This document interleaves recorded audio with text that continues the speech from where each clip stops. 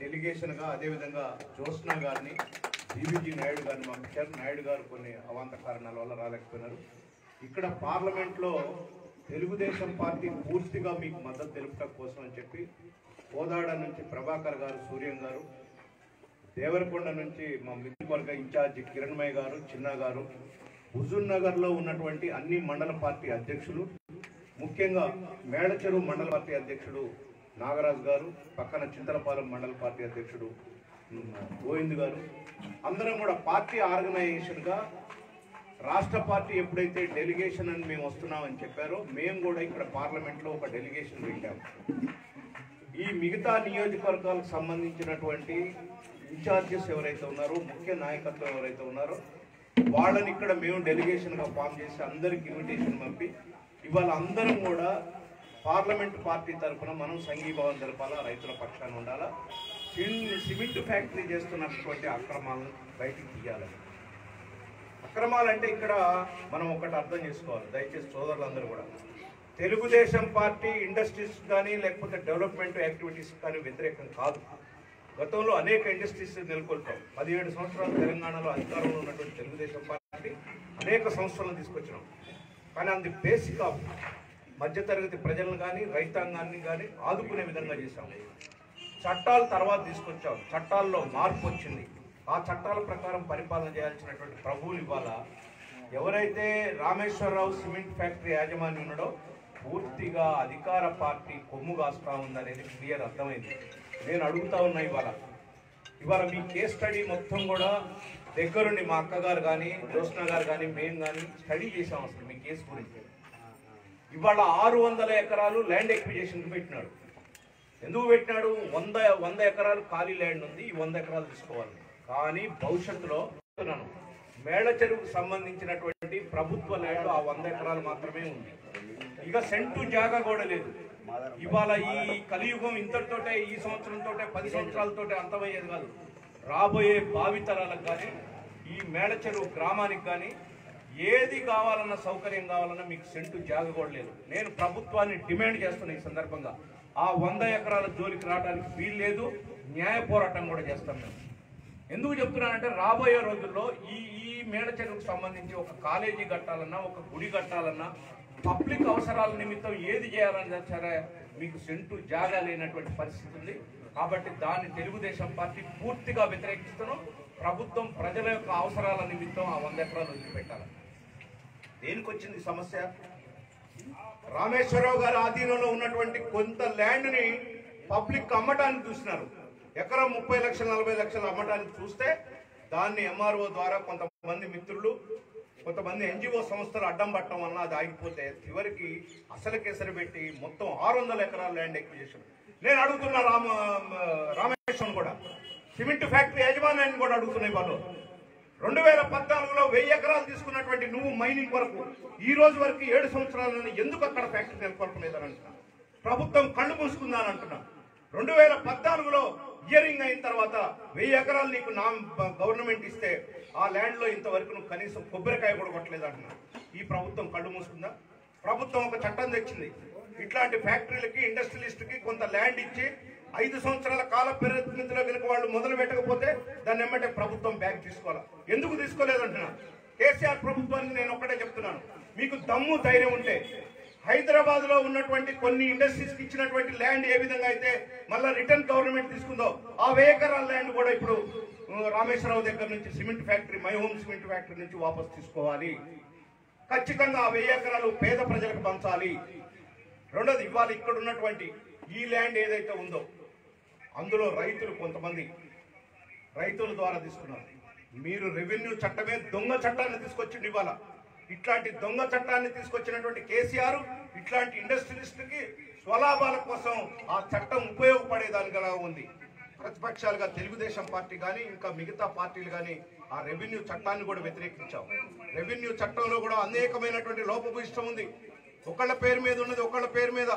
ఇవాళ ఎంతో మంది రైతాంగం రాష్ట్ర వ్యాప్తంగా ఇబ్బంది పడుతున్నారు. నాలుగు ఎకరాలున్న రైతుకి మూడున్నర ఎకరాలను పట్టా ఇచ్చారు. ఐదు ఎకరాలు ఉన్న ఆయనకు ఆరు ఎకరాలను పట్టా ఇచ్చారు. అంటే రైతుల మధ్య కులాల మధ్య కుటుంబాల మధ్య కూడా కొత్త తగాదులు పెట్టారు. కాబట్టి ముఖ్యంగా మేడచెరు గ్రామంలో ఎవరైతే రైతులు ఇబ్బంది పడుతున్నారో ముఖ్యంగా రైతులే కాదు నేను మేడచెరు గ్రామ ప్రజలందరికీ చెప్తున్నా. యువతకి నిరుద్యోగులకు అందరికీ చెప్తున్నా. ఈ ఆరు వందల ఎకరాలు ఇక్కడ స్థానిక శాసనసభ్యులు మాట్లాడతారు. ఈ ఆరు వందల ఎకరాలు ఇస్తే మనకు ఉద్యోగాలు. నేను అడుగుతున్న సైదిరెడ్డి గారిని. సైదిరెడ్డి గారు చదువుకున్నవాడి నువ్వు. ఈ ఆరు వందల ఎకరాల్లో ఆయన ఏం ఫ్యాక్టరీ పెడుతున్నాడో నాకు చెప్పండి. మైనింగ్ కొరకు. మైనింగ్ కొరకు ఒక్క ఉద్యోగం కాదు కదా ఏది రాదు. కేవలం ఆయన దగ్గర ఉన్న మిషనరీతో పాటు తోడుకొని పోవడానికే ఇక్కడ పథకం వేశాడు. నేను అడుగుతున్నా ఇదే సైదిరెడ్డి ప్రజాప్రతినిధి ఎమ్మెల్యేగా ఉన్నావు కదా వెయ్యి ఎకరాలు రెండు వేల పద్నాలుగులో నోటిఫికేషన్ అయిపోయింది అది. ఇంతవరకు కూడా కొబ్బరికాయ కొట్టినటువంటి ఆ వెయ్యి ఎకరాలు ఎందుకు మై హోమ్ సిమెంట్ ఫ్యాక్టరీ కింద ఉందని అడుగుతున్నా. ఎందుకు అక్కడ సంస్థ స్థాపించలేదంటున్నా అక్కడ నువ్వు ఇచ్చిన నామ్స్ ప్రకారం ఈ రోజు అక్కడ కనుక ఒక ఫ్యాక్టరీ కట్టుంటే ఈ చుట్టుపక్కల ప్రాంతంలో మూడు వందల మందికి ఉద్యోగాలు వచ్చాయి కావాలని అడుగుతున్నా. ఏడు సంవత్సరాల కాలం గడుస్తుంది. ప్రభుత్వం వచ్చిన తర్వాత కొత్త చట్టం చేశారు. ఎందుకు మీకు మై హోమ్ యొక్క ల్యాండ్ మీకు పనికి రాకుండా మీకు గుర్తు రాలేదని అడుగుతున్నాను నీ చుట్టం కాబట్టి కాబట్టి అందుకనే ప్రజాప్రతినిధిగా ఉన్న మీరు స్థానికంగా ఉన్నటువంటి ప్రజల బాధలు అర్థం చేసుకోవాలి? ముఖ్యంగా మేడ చెరువు యొక్క రాబోయే రోజుల్లో మండల హెడ్ క్వార్టర్ ఇది. పట్టణం కాబోతుంది. ఈ పట్టణం యొక్క డెవలప్మెంట్ కూడా చూసుకోవాలి మీరు స్థానిక శాసనసభ్యులు? మీకు ఈ ప్రజలు మేడ చెరువులో బ్రహ్మాండమైనటువంటి మెజారిటీ ఇచ్చారు మీకు. మీరు వాళ్ళ వైపు ప్రజల వైపు నిలబడాలా? ఖచ్చితంగా ప్రజల వైపు నిలబడాలంటే మీరు ఆలోచించండి. సెంటు జాగా లేదు ఆ వంద ఎకరాలు తప్ప. రాబోయే తరాలకు ఏం మీ ఇస్తారని చెప్తున్నా. అందుకనే ఇక్కడ ఉన్నటువంటి యువకులు కూడా దీని మీద పెద్ద ఎత్తున ఉద్యమించాల్సినటువంటి అవసరం ఉంది. మీకు తెలుగుదేశం పార్టీ అండగా ఉంటది. ఖచ్చితంగా ఈ విషయాలన్నిటి మీద కూడా మేము పోరాటం చేస్తాం. అందుకే మీకోసం వచ్చాం. చెప్పండి మీరు. పేరు సీనండి పురసీనండి మా నాన్న పేరు పురశం. మాది మేలచెరువు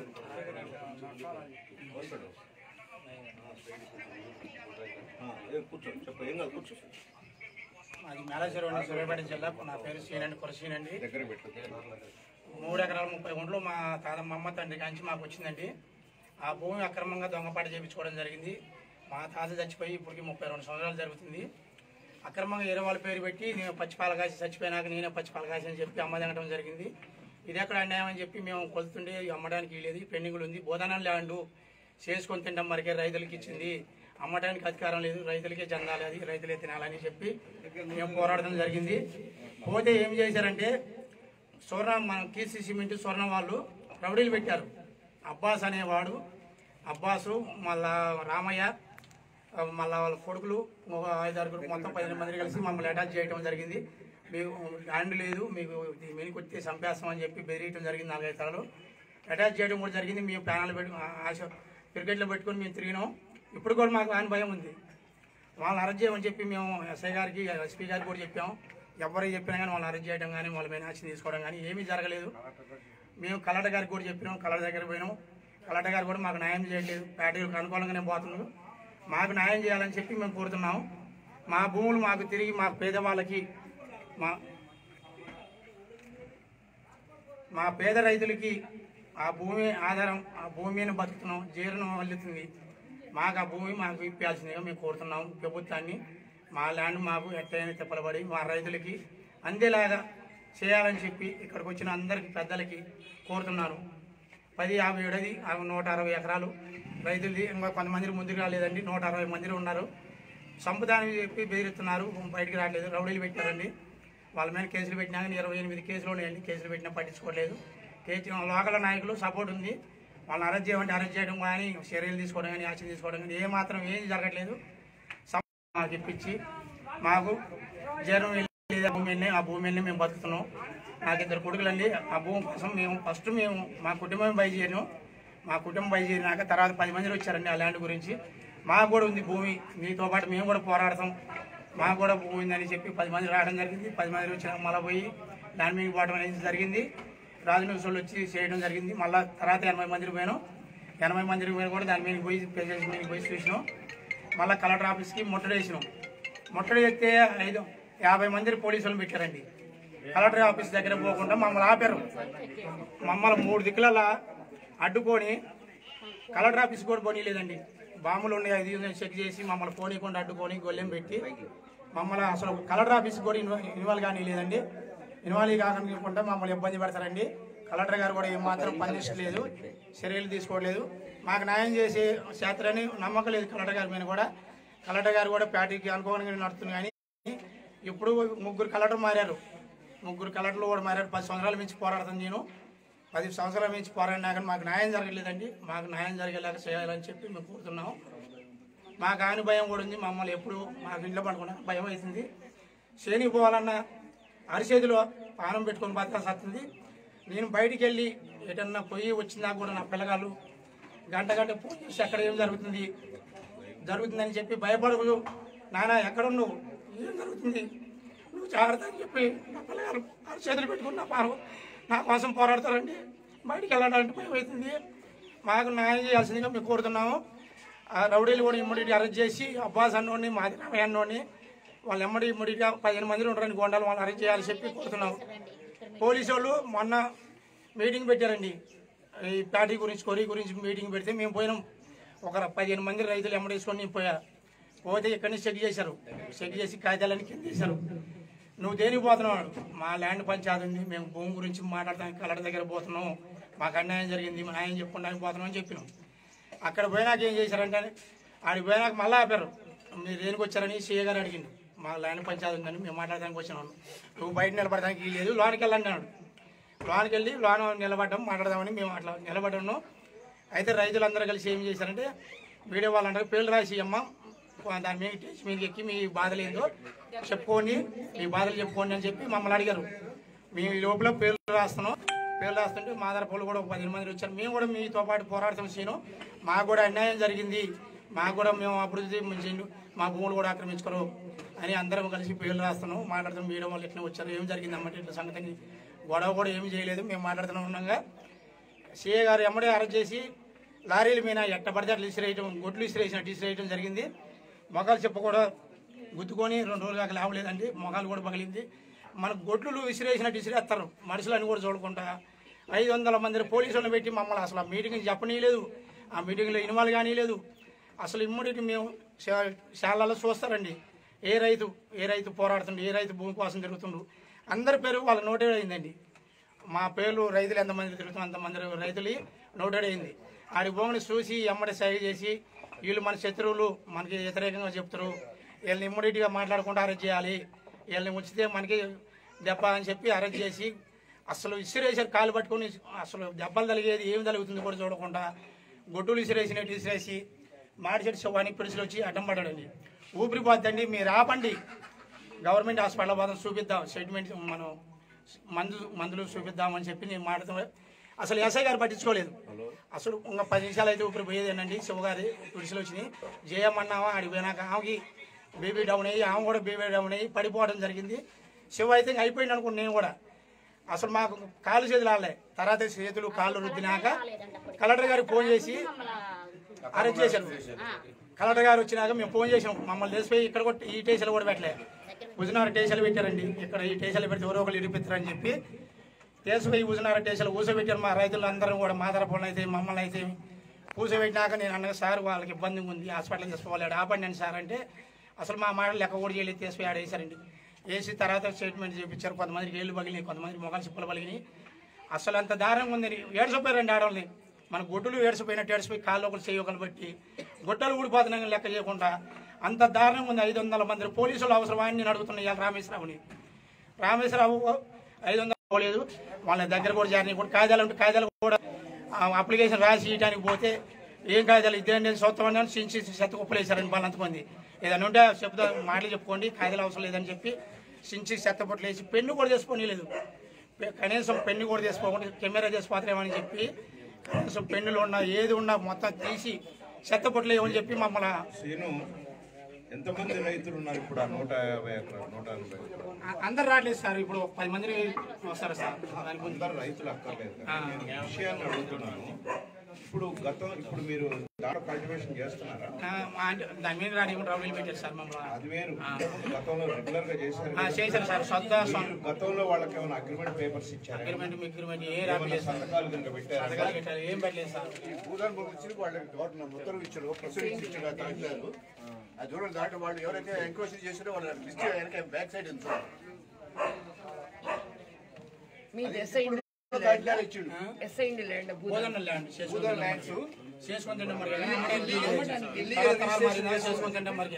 మా నాన్నల కాంచి మా తాతల కాంచి వచ్చిందండి. ఒకటేమో స్వర్ణపేటలో ఉంది ఒకటేమో మయం సిమెంట్లో ఉంది ఒక ల్యాండ్ కూడా ఉంది. అలా ఉండగానే మమ్మల్ని లెక్క చేయలేదు.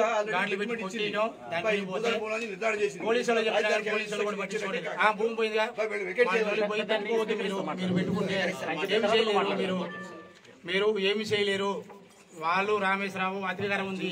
అధికారం పార్టీ మీరు ఏమి చేయలేరు అంత పోరాడినా కానీ మొత్తం తప్ప మీరు తిరిగి తిరిగి మీరు అలసిపోవడం తప్ప మీకు న్యాయం జరగదు అని చెప్పి మమ్మల్ని చేయడం జరిగింది.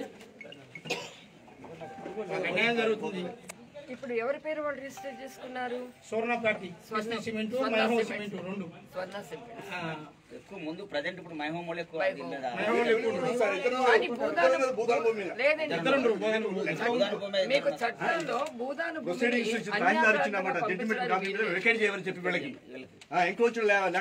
లేదని కోర్టు కూడా ఇవ్వడానికి వీల్లేదు. ఎందుకంటే భూదాన బోర్డుకి ఎవరైతే సమర్పించారో అది ఇతరులకు అసైన్ అయ్యిందో.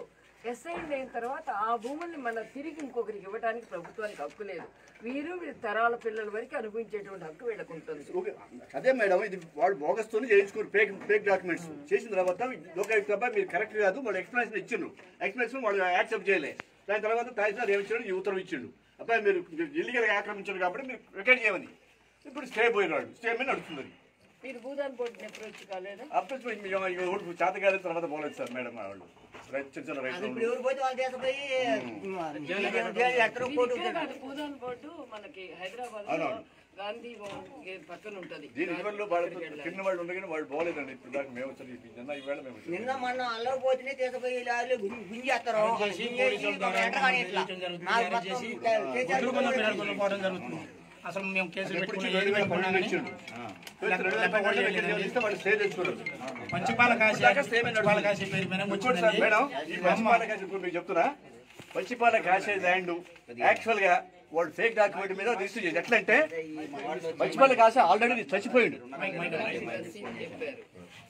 పంచిపాల కాశీ ఆల్రెడీ చచ్చిపోయిండు. ఆయన కింద వేరే వాడి బొమ్మ పెట్టి దాన్ని రిజిస్ట్రేషన్ చేసుకొచ్చింది దాని ఎవరు? బీపీ గారి పేరు అప్పుడు మూర్తినేని దయానందన్.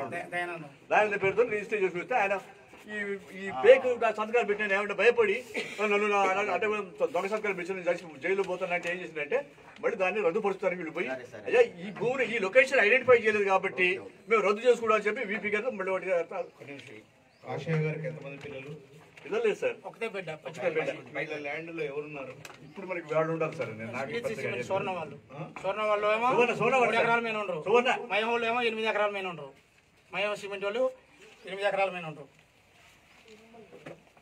ఇప్పుడు ఈ కాషాయకి సంబంధించినటువంటి వాళ్ళు ఎవరు లేరు?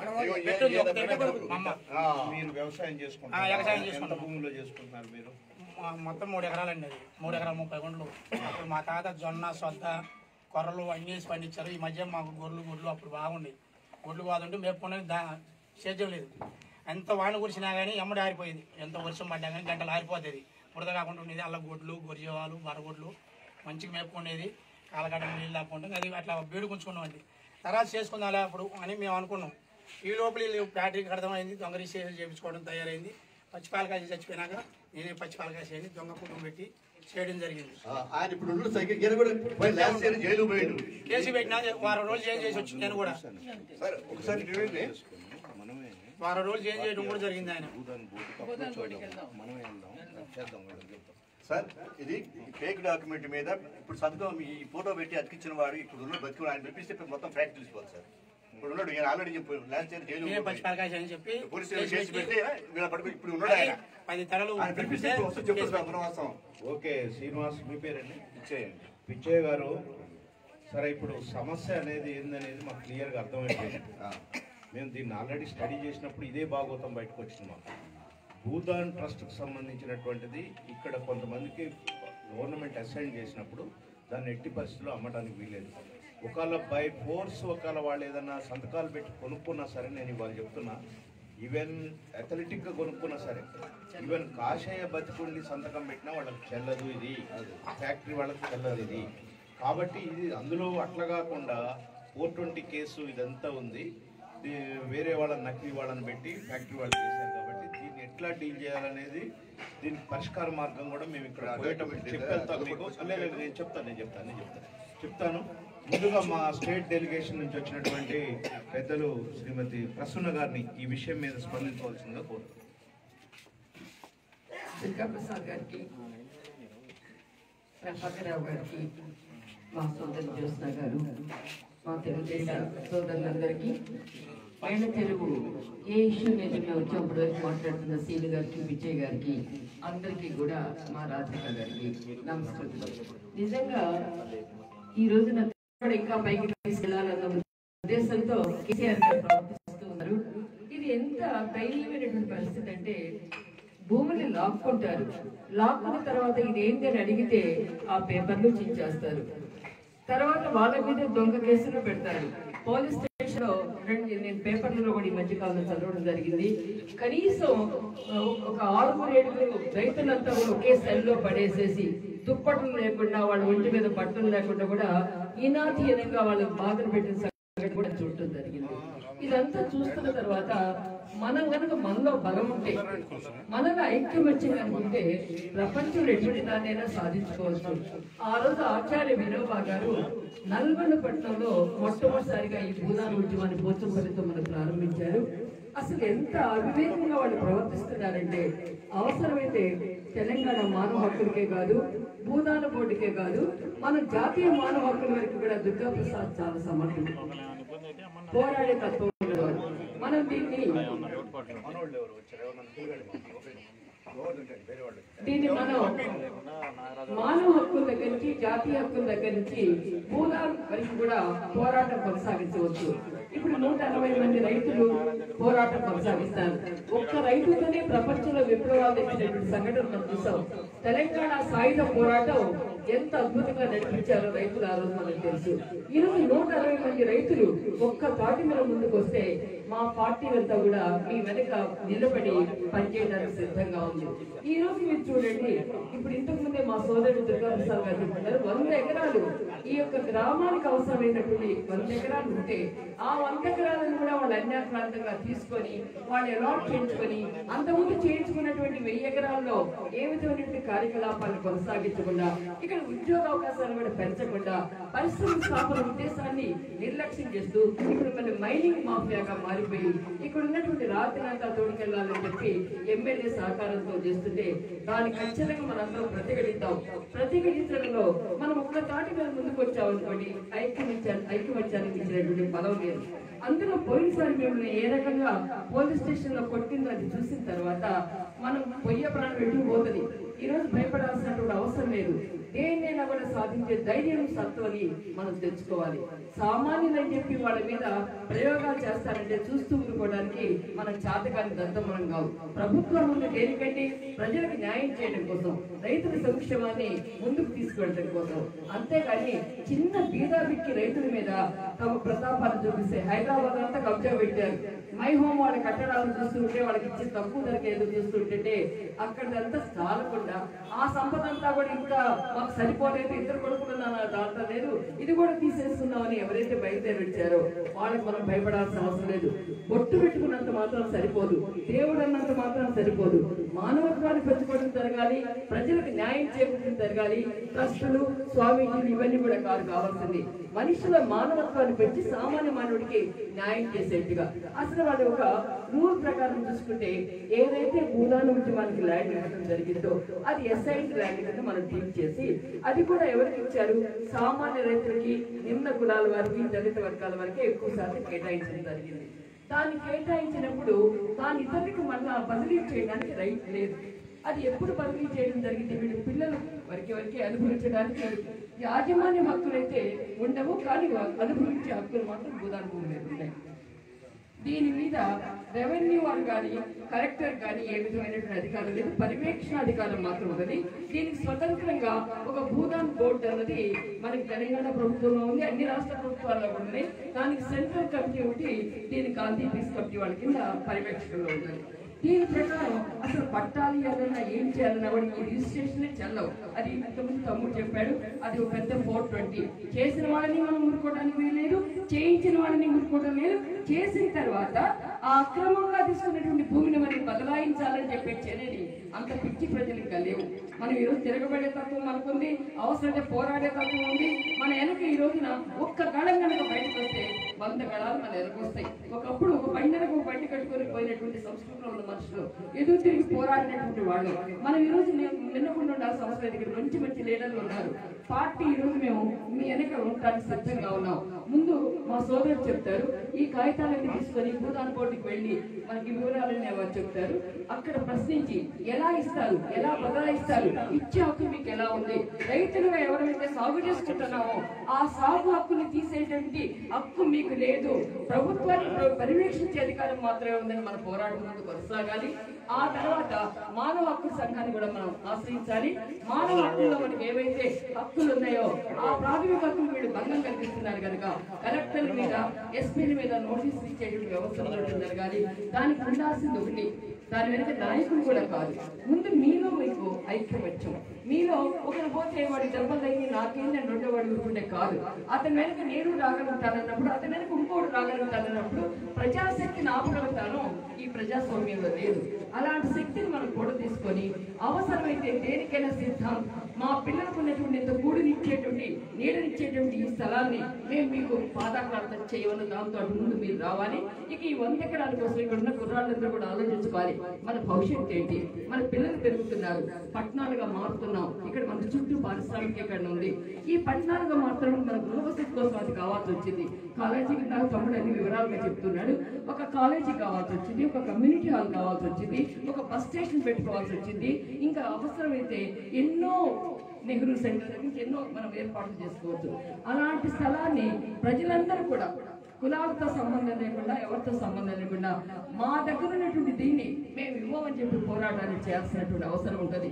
మీకు ఇక్కడ నిజంగా చూస్తుంటే ఇంత పారిశ్రామికన్నా కోట్ల రూపాయల ఇండస్ట్రీ అంతా కూడా పెట్టుకుని వదులుతున్నారు రోడ్లు ఏ స్థితిలో ఉన్నాయి ఇక్కడ? కనీస ప్రాథమిక అవసరాలు సక్రమంగా ఉన్నాయా? ముందు మీరు సైతం నిలదీయండి. నీకు మమ్మల్ని సరిగ్గా చూసుకోవడం చేత కాదు సరిగ్గా రోడ్లు వేయడం చేత కాదు సరిగ్గా మాకు మంచినీళ్ళు అందించడం చేత కాదు ఇంకా ఫ్లోరైడ్ సమస్య. నుంచి కూడా మా కనీస అవసరాలు తీర్చలేని వాడికి నీకు డబ్బు సంపాదన కోసం వచ్చావని చెప్పి అతను నిలదీసి అతని ఇంటి ముందు కూర్చునే పరిస్థితి మనం తెచ్చుకొని అతను మనమంతా కూడా ఐక్యతతో ఉండి ఈ యొక్క సమస్యని హైదరాబాద్కి మా దుర్గా ప్రసాద్ ద్వారా ముందుకు లాక్కొని వెళ్ళి అక్కడ మనం భూదాన్ కోటితో సమృద్ధింపు చేసి మనం మానవ హక్కుల్లో వీళ్ళ తొత్తులుగా ఎవరైనా ఉంటే కనుక జాతీయ మానవ హక్కులు కూడా వెళ్దాం ఎందుకంటే ఇక్కడ ఉందంతా కూడా నిమ్న వర్గాలకు సంబంధించిన వ్యక్తులు కనుక మనం పోరాటం కొనసాగిస్తే అంతిమ విజయం మనకే వచ్చింది. కానీ మనం ఉండాల్సిన మనలో ఐక్యమత్యంతో ఒకటే మాట మీద పిచ్చి గారి ఇందాక అన్నట్టుగా ఎస్ ఫైట్ చేద్దాం. ఏంటండి పోతే? రెండు దెబ్బలు పోలీస్ దెబ్బలు. దానికి భయపడేది చూడండి ఈ లెటర్ ఇచ్చింది ఎప్పుడు రెండు వేల పన్నెండులో వెకేట్ చేయమని వాళ్ళు. ఎంఆర్ఓ ఇప్పుడు ఇప్పుడు అప్పుడు ఆ ఎంఆర్ఓ ఇప్పుడు సేమ్ ఇప్పుడు ఆయన ఉన్నాడు. దామోదరం మేము ఇది చూపించి సార్ మరి ఇదేంటంటే స్టేక్ పే వాళ్ళు మేము ఏం చేయలేమని చెప్పారు. ఇది స్టే వెకేట్ చేయకుండా మనం. అట్లా పరిస్థితి కావాలి ఇప్పుడు ఆల్రెడీ ఇప్పుడు కోర్టులో ఉంది ఇది. అసలు మనం మీకు ఇది కూడా కోర్టులో ఉండాల్సిన అవసరం లేదండి. ఎందుకంటే దీన్ని చూసుకుంటే చెప్పలేదు కాగితాలు చెప్పలేదు సార్ మేడం. ఇక్కడ ఒకటే ఉందండి. మనం గనక చిత్తశుద్ధి మనలో ఉంటే మనం ధైర్యంతో మన మన సొమ్ముని ఎవడో అన్యాక్రాంతంగా లాక్కుపోతుంటే మనం వాడిని బెదిరించలేమా? భయపెట్టలేము మేమేమి? వాళ్ళ మీద పగరి క్రియేట్ చేయడానికో రెచ్చగొట్టడానికో మేము ఇక్కడ మనం మనిషికి అవసరమైన ప్రాథమిక హక్కులకు భంగం కలుగుతున్నప్పుడు సామాన్య ప్రజానికి అనేది న్యాయం జరిగినప్పుడు పార్టీలు ఉన్నాయి మీ అందరి వెనుక మేమందరం ఉంటాం. ఉండి అందరం కలిసికట్టుగా పనిచేద్దాం. మన దుర్గా ప్రసాద్ గారు మా నల్గొండ నాయకులు నాయకత్వం చిన్న చిన్న డౌట్ ఇటీవల మేము ఒక చిన్న వార్త ఇదే లైన్స్ వాళ్ళని అదే ఫ్యాక్టరీ వాళ్ళు. సాదా బైనామీ కింద అమ్మటం ఉంది ముగ్గురు అమ్మేశారు అదే రేపు సాదా బైనామా ఇది భూదాన్ భూదాన్ భూమి భూదాన్ భూమి అంటే ప్రభుత్వంలో ఉన్నటువంటి భూదాన్ బోర్డు ఏదైతే ఉందో అటానమస్ బాడీ అది. ఆ బాడీ మీకు ఇచ్చింది. దాని మీద ప్రభుత్వానికి ఏ పరమైనటువంటి హక్కులు లేవు. కాబట్టి సాదా బైనామీలు చెల్లవు. లేదా రిజిస్టర్ దొంగ సంతకం చేసి ఇప్పుడు ఈ- దొంగ కాసే ఎట్ట పుట్టుకొచ్చాడు అని అర్థమైంది సాదా మీద పోరాడింది? వాళ్ళ అమ్మ అమ్మితేనే మేడం అమ్మి వేరే వాళ్ళకి అమ్మడానికి వచ్చారు పొందడానికి వచ్చారు మేడం. అమ్మిర్రు. మొన్న ఈ మధ్యన అమ్మారు. పది లక్షల ఎకరం పది లక్షల మా ల్యాండ్. సీను ఇప్పుడు నువ్వు ఎన్ని ఎంత చెప్పినా నీ ఆక్రోశం నీ ఇబ్బంది నీ ఆవేదన అంతా మాకు అర్థమైంది. దీనికి ఏంటో కూడా ఇప్పుడు సొల్యూషన్ చెప్పే పోతాం. ఏం ఇబ్బంది లేదు. సేమ్ మ్యాటర్ రిపీట్ అవుతుంది. ఒక్క నిమిషం. జ్యోత్స్న గారిని మాట్లాడవచ్చు అయితే సార్ ఇప్పుడు ఒక అమ్మాయి లేడీ కూడా కొంచెం ఆ విషయం ఒక రెండు బుక్కల రైతులతో అనుకున్నాను. చిన్న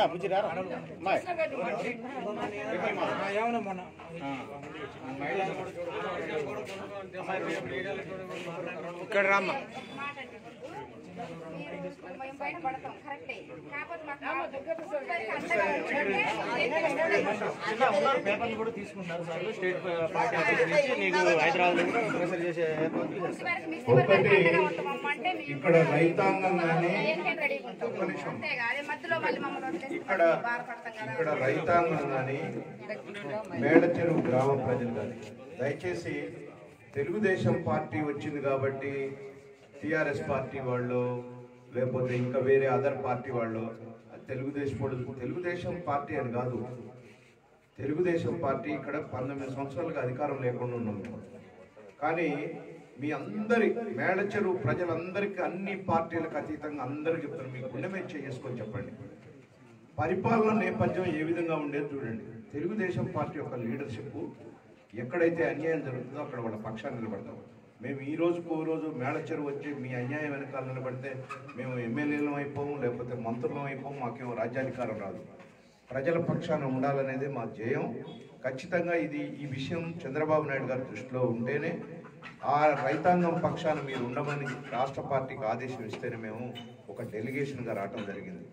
నేను ఇక్కడ ఒకటే చెప్తా ఉన్నాను.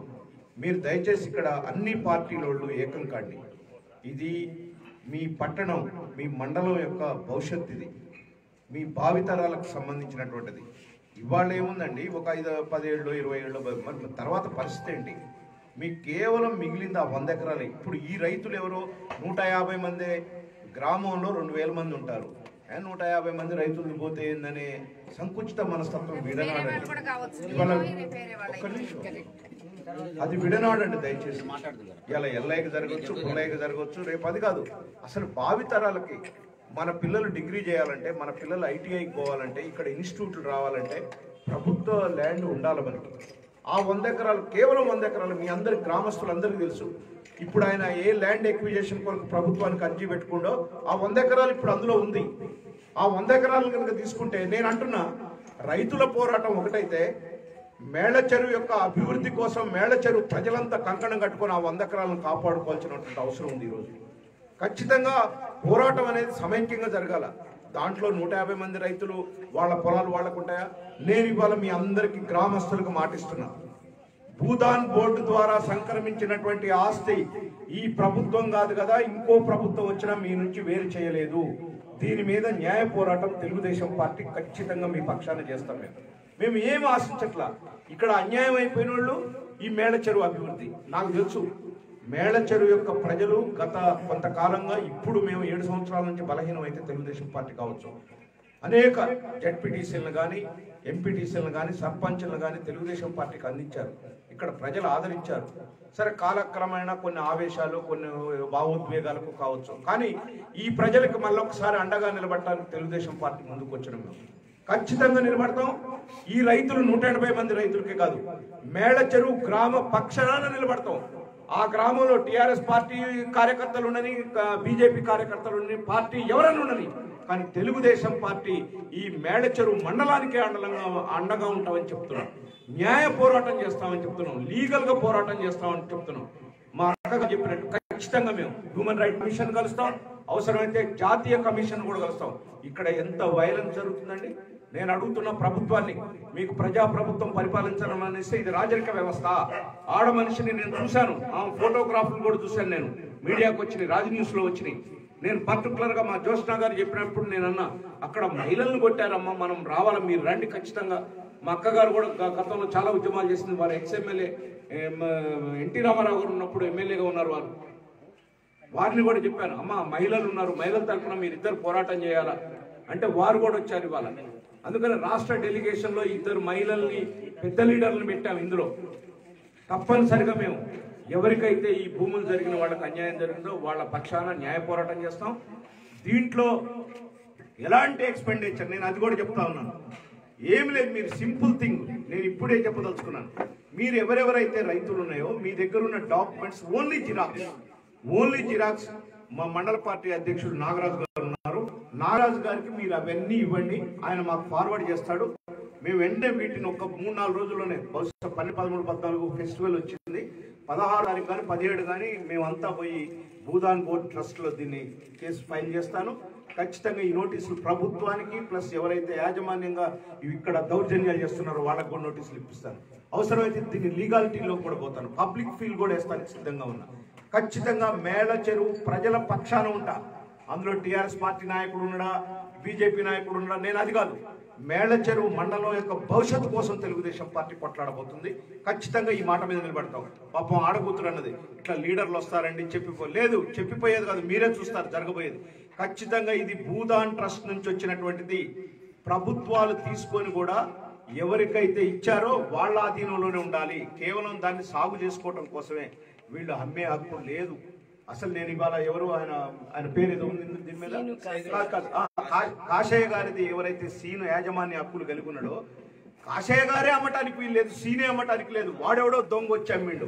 వాడిని కూడా జైలుకి పంపిద్దాం ఖచ్చితంగా. తప్పనిసరిగా.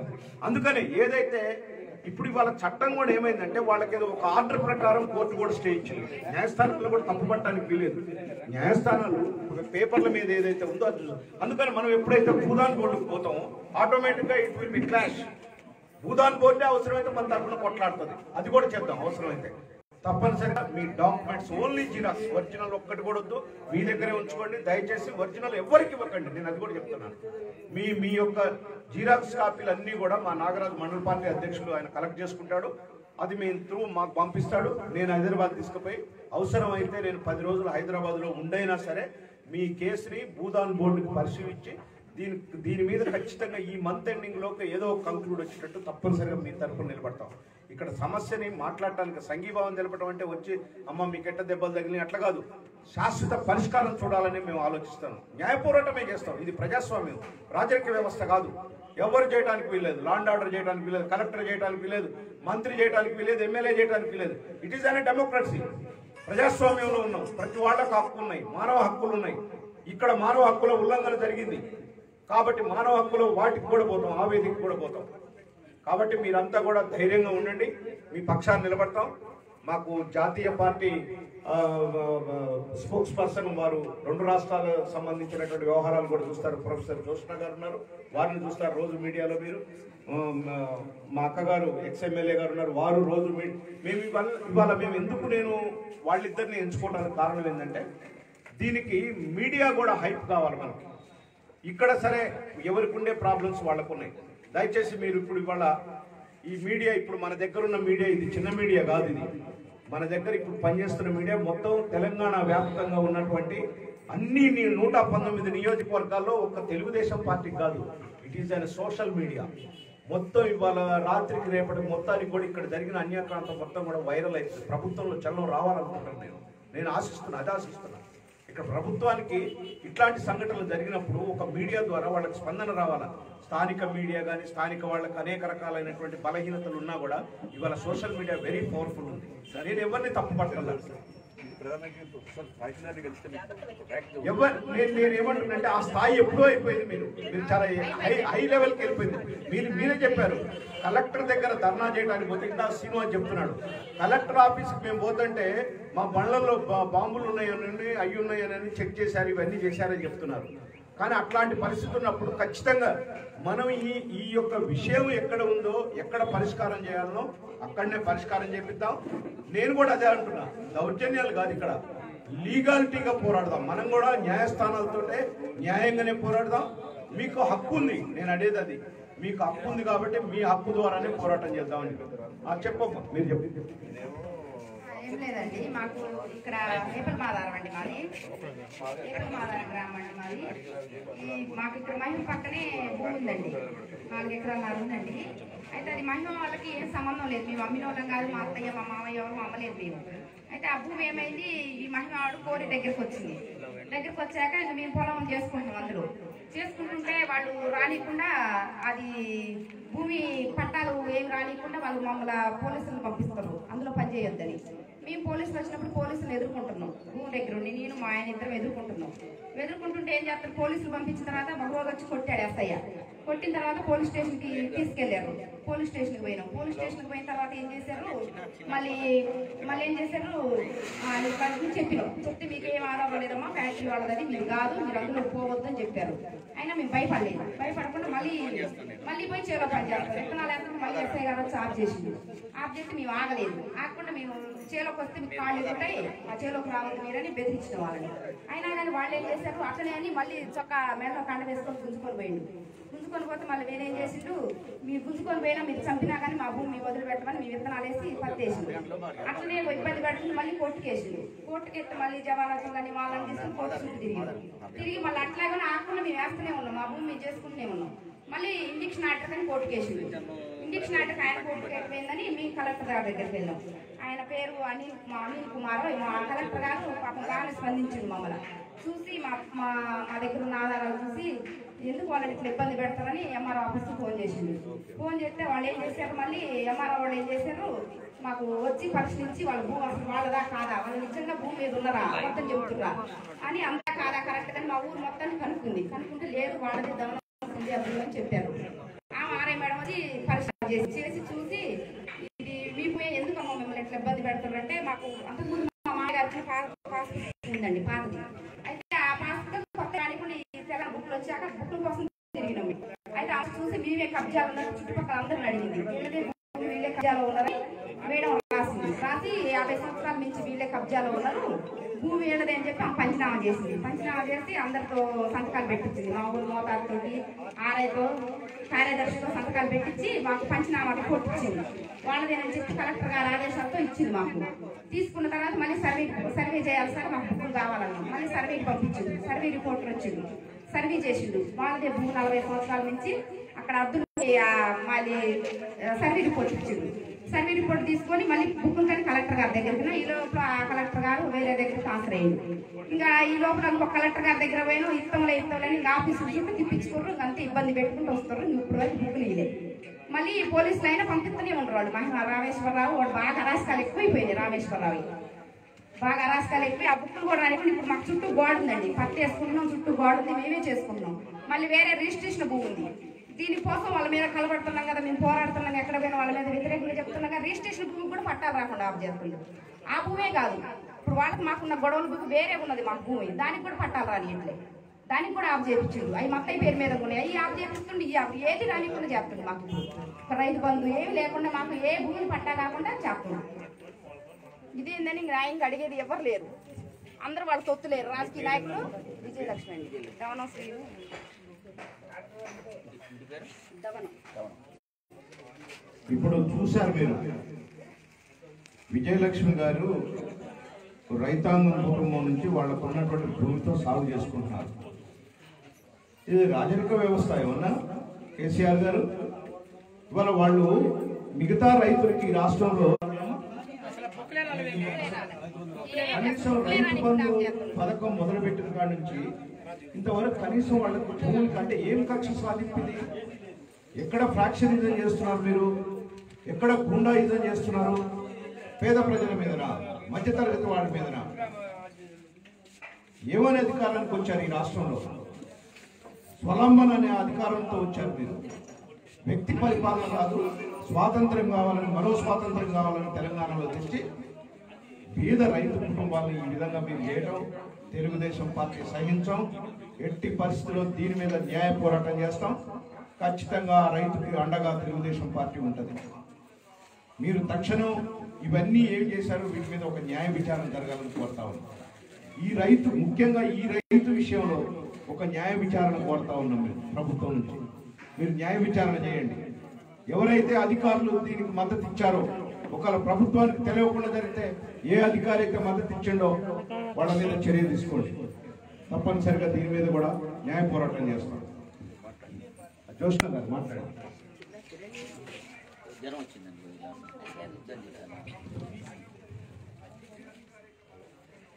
తెలంగాణ రాష్ట్రంలో ఎక్కడికి వెళ్ళినా సరే ఇట్లాంటి సంఘటనలు ఎక్కడ చూసినా ఇవే ఉంటున్నాయి తప్పించి ఇంకేం ఉండట్లేదు.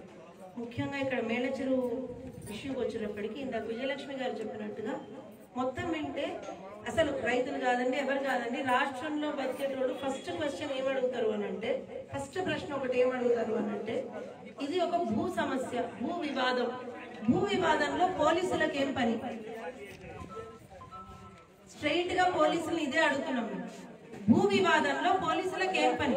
వాళ్ళ భూమిలో వాళ్ళు వాళ్ళు సాగు చేసుకుంటుంటే అది వాళ్ళ భూమి కాదు అయితే అక్కడ ఉన్నటువంటి వాళ్ళు ఎవరిదైతే భూమి అవుతుందో వాళ్ళు పోయి కోట్లు వేసుకోండి కేసు మీకు దమ్ముంటే. అంతేగాని కూర్చొని ఇక్కడ ఆడ మనుషుల్ని ఇంకా ఏమంటారు అంటే ఇందాక సీను గారు చెప్తున్నారు ఇట్లా పెద్దవాళ్ళు చిన్నవాళ్ళు ఒక వయసు తారతమ్యం లేకుండా ఏ తారతమ్యం లేకుండా ఇష్టం వచ్చినట్టుగా గుండాయిజం కాదు అది పోలీస్ గుండాయిజం చేస్తున్నారు ఇవాళ రోజున మీరు. అంతకు మించి నాకు ఇంతసేపట్లో వాళ్ళు మాట్లాడిన దాంట్లో లీగాలిటీస్ పెద్దవారు చెప్తున్నారు లీగాలిటీస్ మనం ఖచ్చితంగా తీసుకొని వెళ్దాం ముందరికి.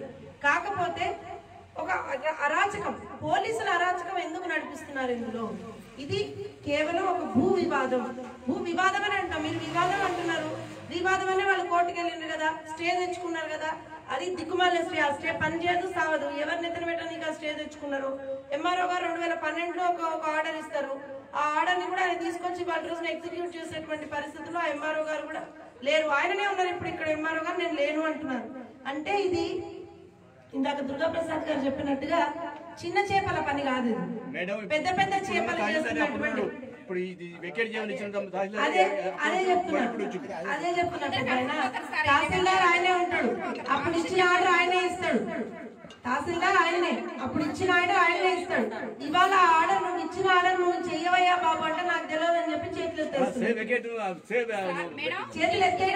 అయితే మాకు ఎందుకు ఇచ్చారు సార్? మా మామ మా మామయ్యకి ఎందుకు ఇచ్చారు సార్? దొంగ బుక్ మీ మీ గవర్నమెంట్ ఇచ్చిందేగా ఈ బుక్ దొంగ బుక్ ఎలా అయింది ఇది? నేను అదే అడుగుతున్నా విజయలక్ష్మి. మనం ప్రశ్నించేది అదే ఇది భూ సమస్య అయినప్పుడు ఏదన్నా ఉంటే మీకు దమ్ము ఉంటే పోయి కోర్టులో తెచ్చుకోండి. కోర్టులో నువ్వు అవి చూపిస్తావు కదా.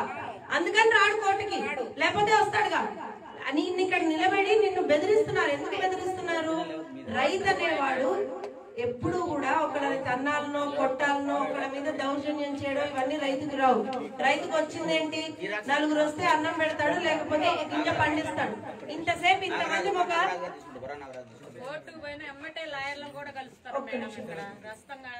ఇంతమందివి అంతో ఇంత వాళ్ళకి ఇచ్చి వాళ్ళకి ఆహా, నేను ఒకటే విషయం చెప్తున్నా విజయలక్ష్మి. మొన్న మైనింగ్ పెట్టడం చాలా తప్పు మేడం. అసలు ఆ మైనింగ్ జరగకూడదు ఇక్కడ.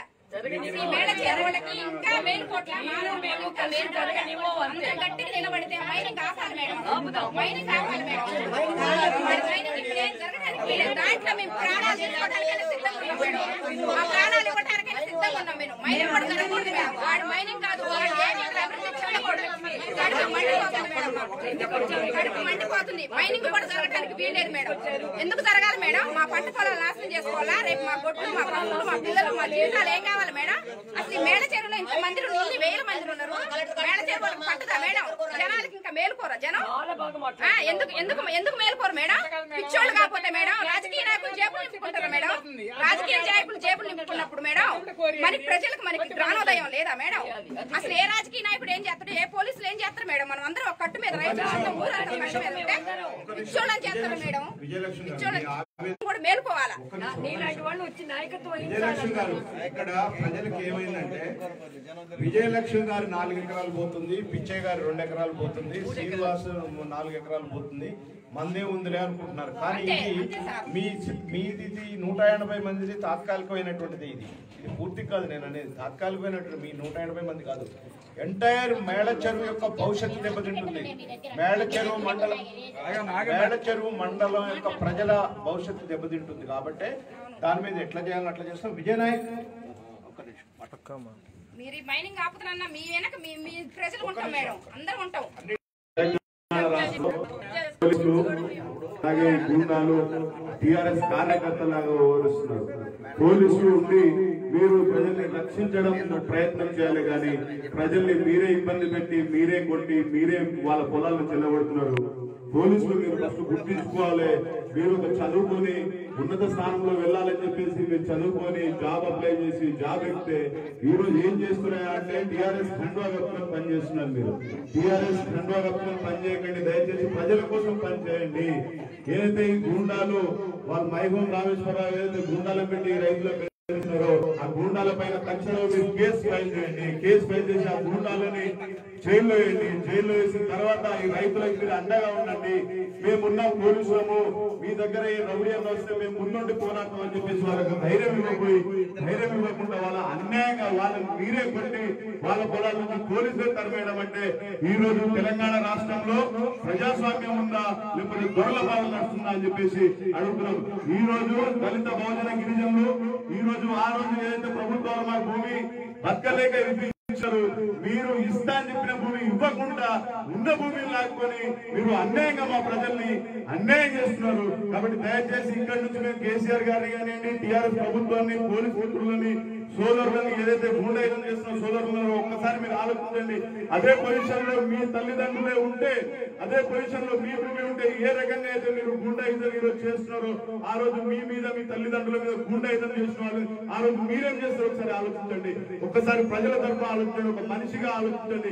ఈ రోజు ఏదో డబ్బు ఇస్తున్నారు ఈ రోజు ఏదో మాకు పదవులు వస్తున్నాయి ఈ రోజు ఏదో ప్రమోషన్స్ వస్తున్నాయని చెప్పి ప్రజలతో ఆడుకుంటున్నారు. ప్రజలతో ఆడుకోమండి ప్రజలతో మమేకం అవ్వండి ప్రజల దగ్గరికి వెళ్ళండి ప్రజల సమస్యలు తెలుసుకోండి. ప్రజా సమస్య పైన మాట్లాడండి. ప్రజా సమస్య పైన మాట్లాడకుండా ప్రజలను ఏదో కించపరిచేలాగా వాళ్ళని కొట్టి ఏదో ఎట్లను గొర్రెలు వేసినట్టుగా మేము ఎట్లు గొర్రెలు వేస్తున్నామని చెప్తున్నారు కదా. మనుషులండి వాళ్ళు గొర్రెలను ఏదో లాగలేసుకుపోయినట్టు వేసుకెళ్ళకూడదు. దయచేసి వాళ్ళు తప్పు చేయలేదు. వాళ్ళు ఏదైనా తప్పు చేస్తే వాళ్ళ మీద కేసులు పెట్టండి. మీరు ఏ ఏ తప్పు చేసినారో ఆ విధంగా వాళ్ళకి శిక్షించండి.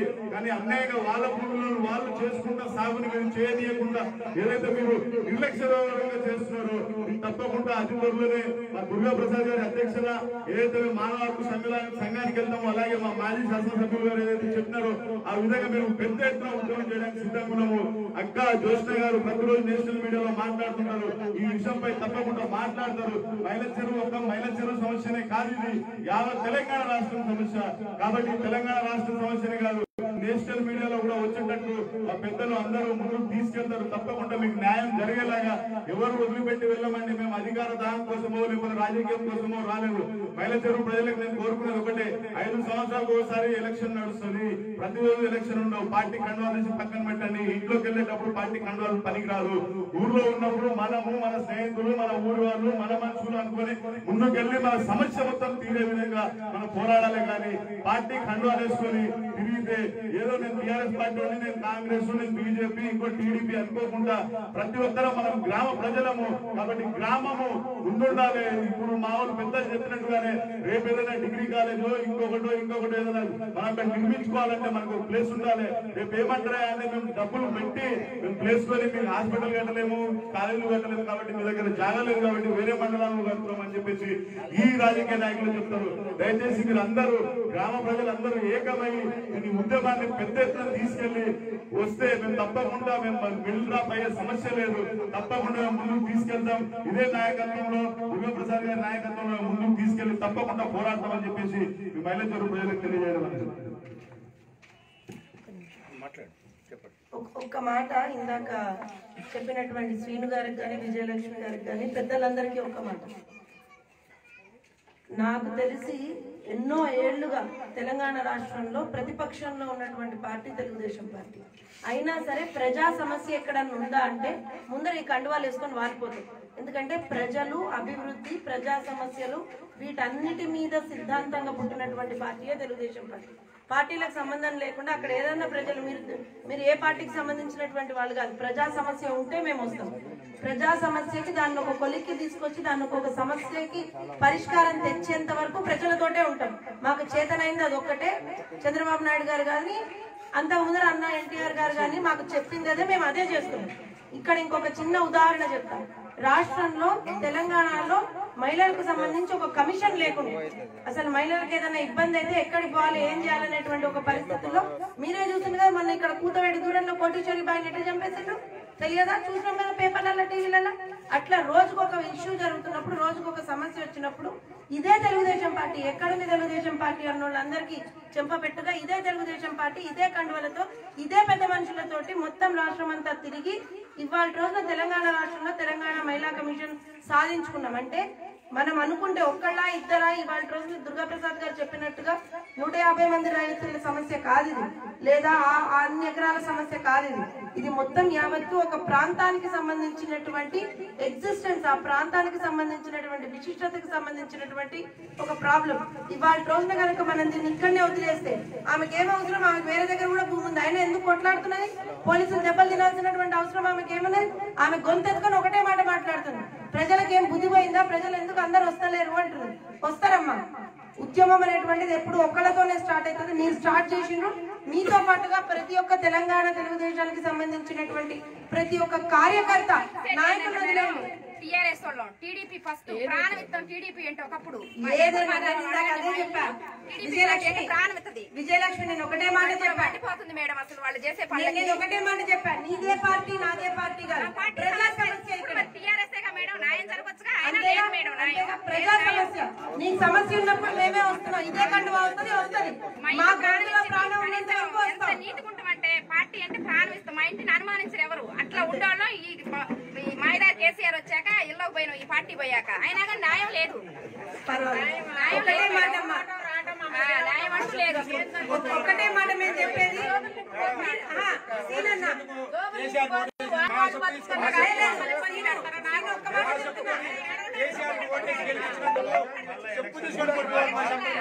బుద్ధొచ్చింది కేసీఆర్ కోటేను మాకు బుద్ధొచ్చింది జనంలో సమస్య పరిష్కరించుకుందాం.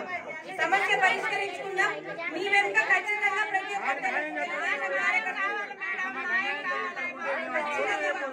తెలంగాణ కార్యకర్త మేము ఎంత ఇబ్బంది పడుతున్నామో అసలు ఎన్ని మాటలు సర్వే చేసినా కానీ సర్వేలో భూమి కూడా మాకు అట్లా చేస్తాం చూడండి ఇప్పుడు మీ మీ ఆవేదన అయింది. నేను ఫస్ట్ చెప్పిన. మీది ఇరవై రోజులు ఉంటే మీడియా దృష్టికి వస్తే మీకు ఇంకోటి తెలుసా? మీరు రాజ్ న్యూస్ ఒకటే చూపించింది అనుకున్నారు. ఇప్పుడు రాజ్ న్యూస్ ఒకటే చూపించింది అనుకున్నాను నేషనల్ మీడియాలో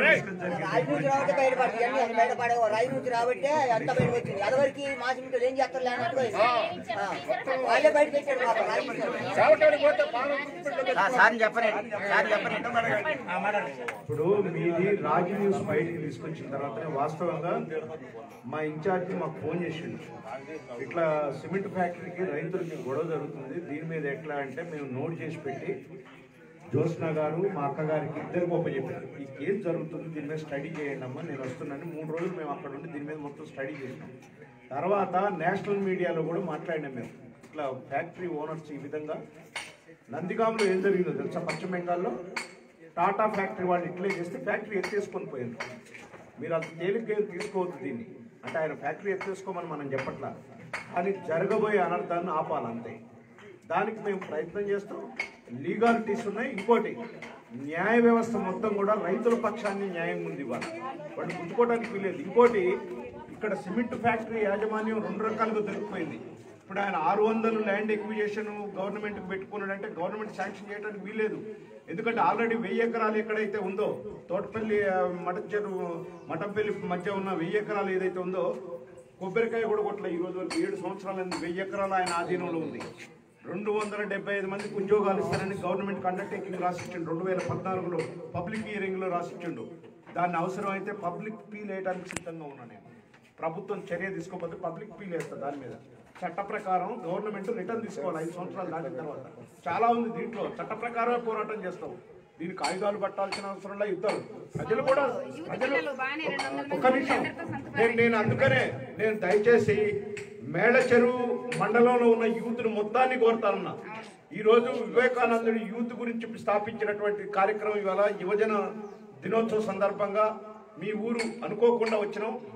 ఈ ఈ మండలంలో ఉన్నటువంటి యువతకు మొత్తానికి కూడా మీరు మీ భవిష్యత్తును తెలుసుకోండి. మీరు ఇవాళ ఇరవై ఏళ్ళు ముప్పై ఏళ్ళు ముప్పై ఐదు ఏళ్ళు ఉన్నారు భవిష్యత్తు మీది.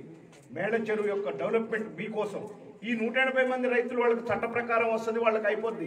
కానీ ఈ వంద ఎకరాలు కనుక పోతే మీరు ఈ మా ఈ మండలంలో మీరు ఏమీ చేయలేరు. మీ ఆస్తే తప్ప పబ్లిక్ సంబంధించి ఒక కాలేజీ కట్టించాలన్నా ఏది కట్టించాలన్నా ఇంకా చెంటు భూమి గజం భూమి కూడా లేదు. కాబట్టి యువత మొత్తం మేల్కొనాలి? మేల్కొని న్యాయ పోరాటమే. అందరు ప్రతిఘటించండి.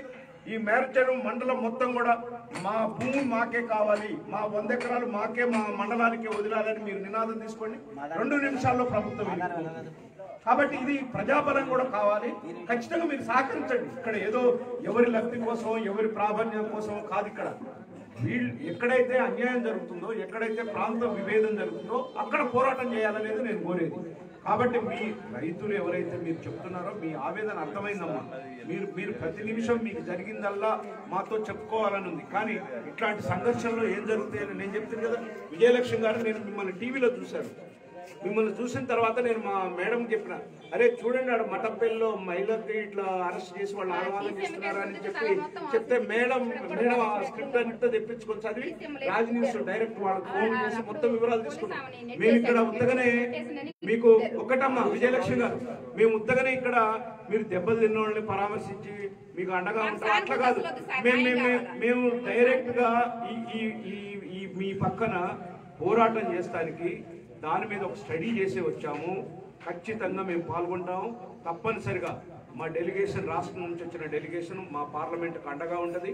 మా పార్లమెంట్లో యువ నాయకత్వం ఒక పక్క జానకిరామ్ కానీ విజయనాయక్ కానీ ప్రభాకర్ గారు కానీ సూర్యం కానీ మా మా చుట్టూ ఏడు నియోజకవర్గాల్లో ఉన్న నాయకత్వం కూడా మాకు ఎప్పుడంటే అప్పుడు మేము పిలిపిస్తే మా కురికి వస్తారు. మీరు ఇక్కడ వంద మంది ఉంటే మా వాళ్ళు రెండు వేల మంది వస్తారు కావాలంటే. బలం కావాలంటే బల ప్రదర్శన కాదు ఇది. న్యాయంగా పోరాటం చేస్తాం. వాళ్ళు ఏం చెప్తారంటే ఎవరన్నా రైతులు ముందుకు పోయినప్పుడు బాగా పోలీసులు పంపిస్తారు పోలీసులతో.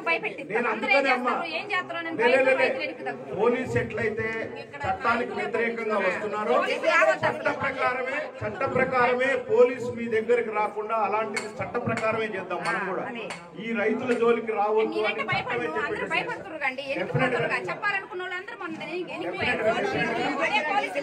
అందరూ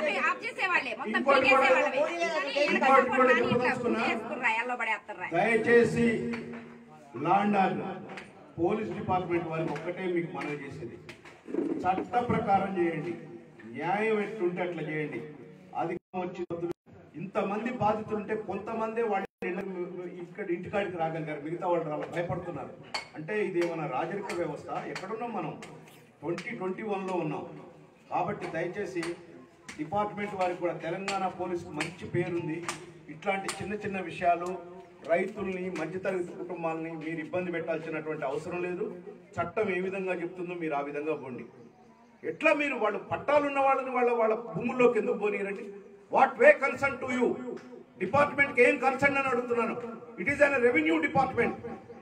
వాళ్ళు కోర్టుకు పోతారు లీగాలిటీస్ ఉన్నాయి చట్టాలు చెప్తాయి. మీకేం అవసరం? లాండ్ ఆర్డర్ ఏం అవసరం మీకు? వాళ్ళు వాళ్ళు పట్టాలు ఉన్నటువంటి వాళ్ళు వాళ్ళ భూమిలోకి పోతే ఎవరో రౌడీలు వచ్చి తప్పుడు పత్రాలు పెట్టి తప్పుడు ఫోటోలు పెట్టి చేస్తే మీకు కళ్ళకు కనపడుతున్నాయి కదా అక్కడ. పలానా ఆయన ఎప్పుడో చనిపోతే ఆయన పేరు మీద వాడిని తీసుకొచ్చి అరెస్ట్ చేశారా? నేను వాళ్ళ డిపార్ట్మెంట్ అడుగుతున్నా.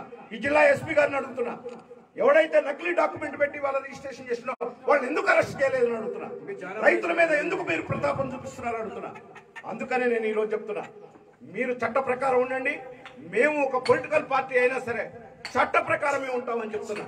చట్టంతో మీకు మళ్ళీ మేము మేము కూడా ప్రైవేట్ కేసులు కూడా వేస్తామని చెప్తున్నాం. కాబట్టి దయచేసి ఇప్పటికైనా సరే లాండ్ ఆర్డర్ మీరు ఎట్లా చట్టం ఏ పరిధిలో ఉందో ఆ పరిధిలో ఉండండి. ఎవరికో కొమ్ము కాసి పేద రైతుల్ని ఆడవాళ్ళని మానవీయ కోణం ఉండాలండి. ఆడ మనిషి ఆమెను ఎట్లా లాగారో మేము మేము వ్యాన్లో చూసాం. మేము చూసాం ప్రత్యక్షంగా చూసాం. ఇట్ ఈస్ ద వే కానీ దయచేసి ఇప్పటికైనా సరే డిపార్ట్మెంట్ వారు మేము ఇక్కడ ఈ రైతాంగం నూట ఎనభై మంది రైతులకే కాదు మేళ చెరువు మండల ప్రజలకు తెలుగుదేశం పార్టీ అండగా ఉంటాం న్యాయ పోరాటం చేస్తాం.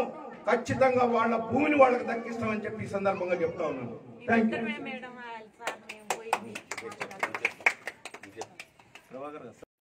యూ గారు ఏది లేదు ఇది భూదాన్ ల్యాండ్. భూదాన్ ల్యాండ్ వాళ్ళకి పోయి ఇప్పుడు మేము అదే చెప్తా ఉన్నానా? మీకు మీకు కూడా ఇప్పుడే చెప్తాను క్లారిటీ ఇస్తున్నా. మేడం గారు హ్యూమన్ రైట్ కమిషన్ సంబంధించి అవసరమైతే ఇక్కడ స్టేట్ కమిషన్ నేషనల్ కమిషన్కి మేడం గారు మేము మా టీంలో ఉన్న మేడం గారు అన్నీ చూస్తారు. మొన్న ఇప్పుడు చెప్పారు కదా వారి పోరాట పటమే ఇలా మహిళా కమిషన్ వేసింది. ప్రభుత్వం తలవకి ఆమె వన్ ఇయర్గా చేస్తున్న పోరాటానికి తట్టుకోలేక చింతా లక్ష్మారెడ్డి గారిని నిన్ననే ఆమె ప్రమాణ స్వీకారం చేసింది. కాబట్టి ఖచ్చితంగా ఏ మానవ హక్కుల ఉల్లంఘన జరిగిందో దీని మీద కూడా మేము ప్రొసీడ్ అవుతాం. మేడం గారు చూస్తారు భూదాన్ కూడా కలిసి మేము ముగ్గురం కలిసి మీద ఒక సాల్వేషన్ డెఫినెట్గా ఏదో ఒక మార్గం తీసుకొస్తాం. నేను అంటున్నా మీ ఈ దొంగ ఫేక్ ఇవన్నీ కూడా భూదాన్ ట్రస్ట్ వాళ్ళు వాళ్ళే చూస్తారు. వాళ్ళకే డైరెక్షన్ వాళ్ళే డైరెక్షన్ ఇస్తారు ప్రభుత్వానికి. ఏంటి ల్యాండ్స్ ఏంటి ఇట్లా ఎందుకైందని వాళ్ళే డైరెక్షన్ ఇస్తారు. వాళ్ళు వాళ్ళు ఇట్ ఈజ్ స్వతంత్ర ప్రతిపత్తి కలిగినటువంటి సంస్థ భూదాన్ లేదు అంటే దానికి దాని కమ్యూనికేషన్ గ్యాప్ ఏంటంటే ఎవరు కూడా దాని వెనకాల పడల. అవసరమైతే భూదాన్ ట్రస్ట్ మనకు రాసిచ్చిన తర్వాత దాన్ని మళ్ళా హై హైకోర్టుకైనా ఇంప్లీడ్ కావచ్చు దాన్ని. చేస్తాం మేము ఖచ్చితంగా లీగల్ పోరాటం చేస్తాం.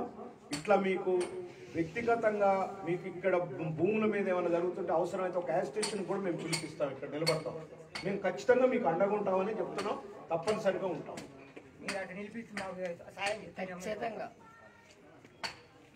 జాని మాట్లాడుకో. మాట్లాడయా? నరాల చెట్టి జయమ్మ సార్ నా పేరు. నాకు ముగ్గురు కొడుకులు. అయితే మూడు ఎకరాల ఎనిమిది గుంటల భూమి మా తాతల తండ్రుల కాడి నుంచి ఉన్న భూమి అది. ఇప్పుడు ఇది పట్టాల ఉంటుంది అప్పటి నుంచి కూడా ఫ్యాక్టరీకి అయ్యేస్తున్నా కూడా మేము అడ్డుపోయినాం. అడ్డుపోయినా కూడా మీ భూమి మీకు తేలితే మీ- మీ భూమి వదిలిపెడతాం అనని ఇదే రత్నం సారు చెప్పి మమ్మల్ని సర్వే పెట్టుకోమన్నాడు. అయితే జిల్లా సర్వేకు పెట్టుకున్నాం. పెట్టుకొని కలెక్టర్ చుట్టూ వాళ్ళ చుట్టూ అసలు పది సంవత్సరాల నుంచి తిరిగినా కూడా తాపకి మమ్మల్ని ఇబ్బంది పెట్టి భూమి తేలింది అదే సర్వే తేలిపిండు తేలిపినాక రత్నం గారిని పిలిపించిండు. పిలిపించి వీళ్ళ భూమి ఇళ్ళ కలిసింది. సర్వే రాయనీలే. ఇంకెట్లా మళ్ళీ మేము ఒత్తిడి పెట్టి గెస్ట్ హౌస్ భోజనాలు రాయి బాధే టైంలో పార్టీ వాళ్ళు వచ్చి ఏం చేశారంటే భోజనానికి రాని అని చెప్పి భోజనానికి తీసుకెళ్ళి చెప్పు నరేష్. నగ్నంగా వెళ్ళిపోయారు. డబ్బులు ఇచ్చారు. రాయి బాతం కానీ ఆ ఎంకలు కూడా రాకుండా సర్వే నగ్నంగా వెళ్ళిపోయింది. రేపు వస్తా అని చెప్పి సర్వే రాకుండా మన నాగరాజు గారు మీరు ఇప్పుడు వీళ్ళు ఎవరు? ఈ ఇండివిజువల్ కేసెస్ ఉన్నాయి కదా. ఇది రిజిస్ట్రేషన్ కేసెస్ రిజిస్ట్రేషన్ ఉన్న వీళ్ళకి ల్యాండ్ సర్వేర్ పొందితే కూడా లేదని అంటే అవసరమైతే స్టేట్ సర్వేర్ పెడదాం దీన్ని. వీళ్ళ డాక్యుమెంట్స్ ఏమన్నా జిరాక్స్ కాపీలు తీసుకోండి. ఒరిజినల్ ఒక్కటి కూడా వద్దు మనకి. వీళ్ళు ఎప్పుడు సర్వేకి అప్లికేషన్ పెట్టిన నెంబర్ ఉంటుంది వీళ్ళ దగ్గర. అప్లికేషన్ జిరాక్స్ కూడా ఉంటుంది. అది కూడా తీసుకోండి. పాత అప్లికేషన్ జిరాక్స్ తీసుకొని మనం అవసరమైతే స్టేట్ కమిషన్ కూడా కలుగుతాం వీళ్ళ దాంట్లో అన్యాయం జరిగినట్టు. వీరిది కూడా ల్యాండ్ కొన్ని అవి ఏది మన రైతు బంధు అవి రిజిస్ట్రేషన్ ఉన్న వాటికి కూడా పడాలి అంటే ఇది కక్ష సాధింపు. వాళ్ళకి అవి పడాలంటే ఇది వదిలిపెడితే అవి పడతాయి అది వాళ్ళంటే ఏదో ఉంటది కదా పెడతాడు కదా కాదులే. వాళ్ళు ఏంటంటే ఆమెను ఆపారు.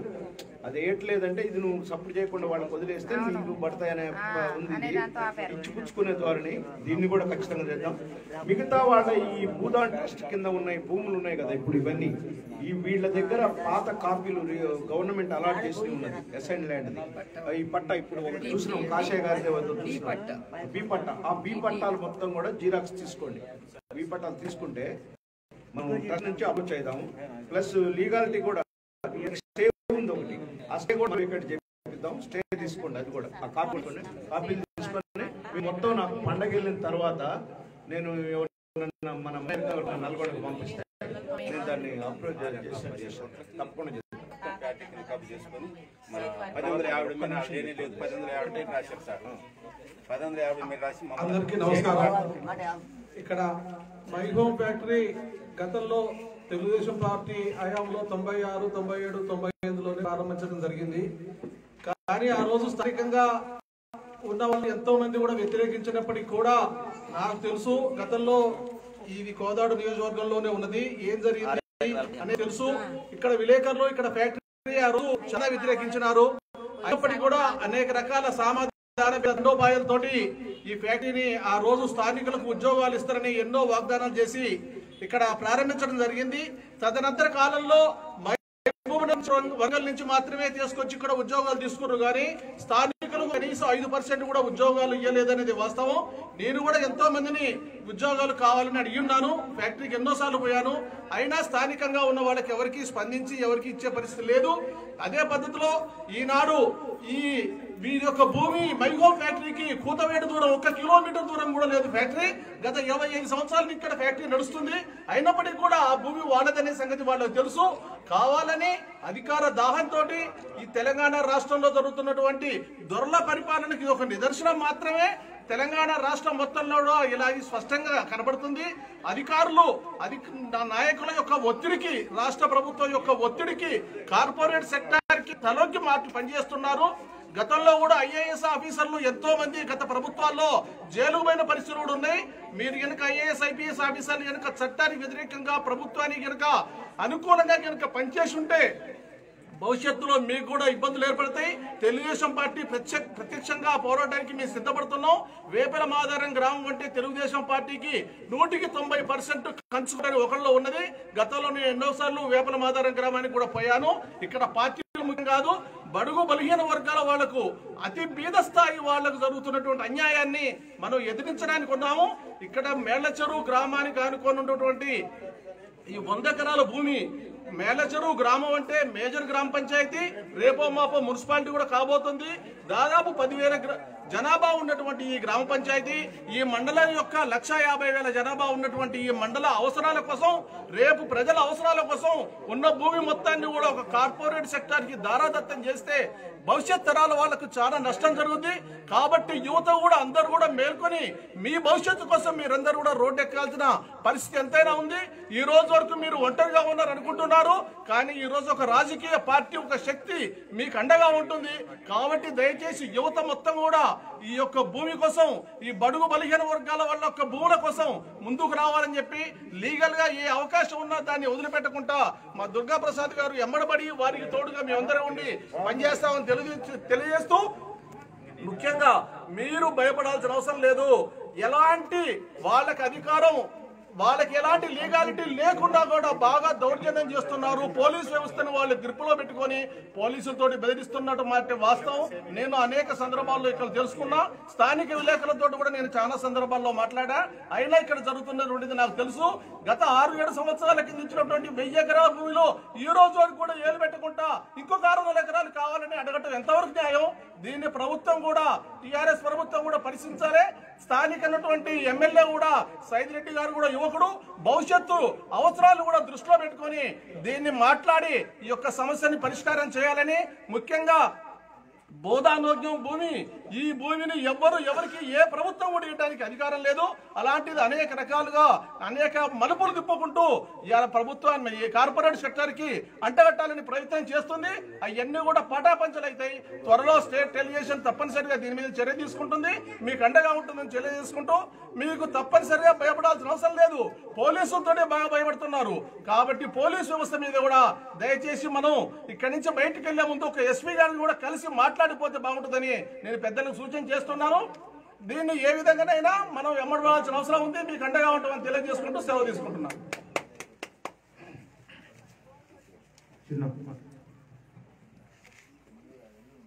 మేళ్ళచెరు మై హోమ్ బాధిత రైతులకి సంఘీభావం తెలపడానికి చేసినటువంటి మన రాష్ట్ర డెలిగేషన్ వారికి ధన్యవాదాలు తెలుపుతున్నాను. అలాగే ఈరోజు ఈరోజు సువర్ణ సువర్ణ మై హోమ్ సువర్ణ ఇక్కడ ఉన్నటువంటి సిమెంట్ ఫ్యాక్టరీలు రెండు కూడా నల్లచెరు మండలంలో ఉన్నటువంటి రైతాంగానికి చాలా తీరని అన్యాయం చేసింది కాబట్టి మీ మీకు జరిగినటువంటి అన్యాయానికి మా పార్టీ పూర్తి స్థాయిలో మద్దతు తెలుపుతుంది. ఇవాళ ఏదో తూతూ మంత్రంగా వచ్చి మిమ్మల్ని పలకరించడం కాదు. ఇవాళ మీరు ప్రతిదీ కూడా మీ దగ్గర ఉన్నటువంటి మీ దగ్గర ఉన్నటువంటి ప్రతి పేపరు జీరాక్సులు మా నాయకుడు నాగరాజు గారికి అప్పచెప్తే మా ద్వారా పూర్తి స్థాయిగా మేము హైదరాబాద్ తీసుకెళ్ళి మా మా నాయకులు అక్కడ భూదాన్ బోర్డులు అయితేనేమి ఆ కోర్టులు అయితేనేమి పూర్తిగా వాళ్ళు అక్కడ దీని మీద మీకు న్యాయం జరిగేటట్టు పోరాటం చేస్తారు. ఇవాళ ఇవాళ ఇవాళ వచ్చిపోవటమే కాదు పూర్తి స్థాయిలో మీకు మద్దతుగా ఉంటారు. పూర్తి స్థాయిలో వాస్తవంగా ఈ ఈ విజయలక్ష్మి గారు చెప్పినట్టుగా నిన్న జరిగినటువంటి ఆరు వందల యాభై ఎకరాలు ఎంత సుమారు మైనింగ్కి జరిగిన మైనింగ్ పూర్తిగా బంద్ చేయాలని చెప్పి మేము డిమాండ్ చేస్తున్నాం.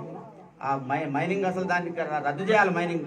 మైనింగ్ యాక్షన్ మా రద్దు చేయాలని చెప్పేసి మా పార్టీ పరంగా డిమాండ్ చేసుకుంటూ నష్టపోయే రైతులు రైతుల